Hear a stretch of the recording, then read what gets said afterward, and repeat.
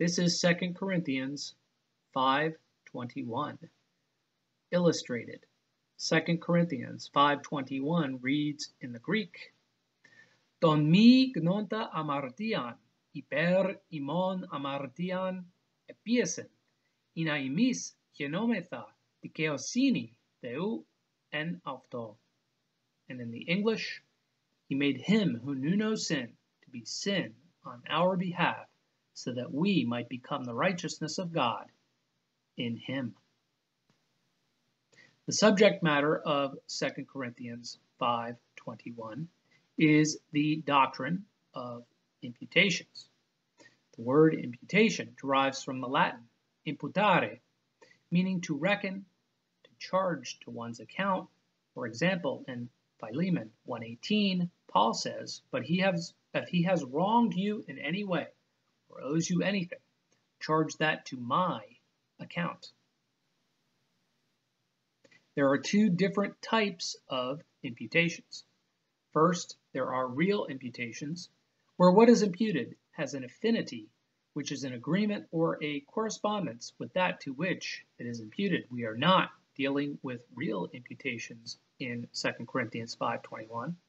Instead, we are dealing with judicial imputations, where what is imputed has no affinity, agreement, or correspondence with that to which it is imputed. So we have two judicial imputations in 2 Corinthians 5.21. Number one, our sin is imputed to Christ, and there is no affinity between sin and Christ because Christ is righteous. Number two, Christ's righteousness is imputed to us, and there is no affinity because we are sinners, and there is no affinity between us as sinners and righteousness.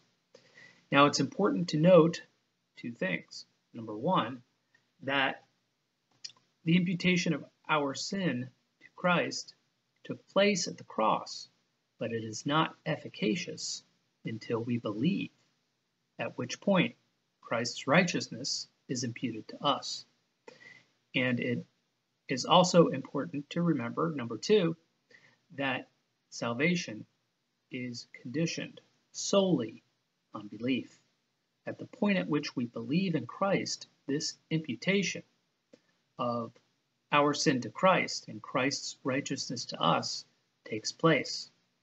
The scripture says, Believe on the Lord Jesus Christ and you will be saved. Very important to remember because to say that salvation is conditioned on anything other than belief is not biblical. The gospel is very simple. It's a matter of believing in Jesus Christ. And to complicate it any further than that is a perversion and a pollution of the simplicity that is the gospel.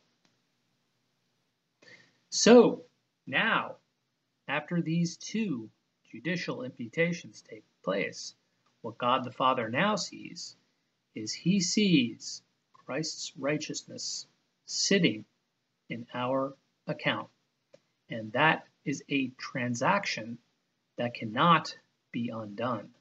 So our eternal salvation is now secured. God the Father sees us as righteous.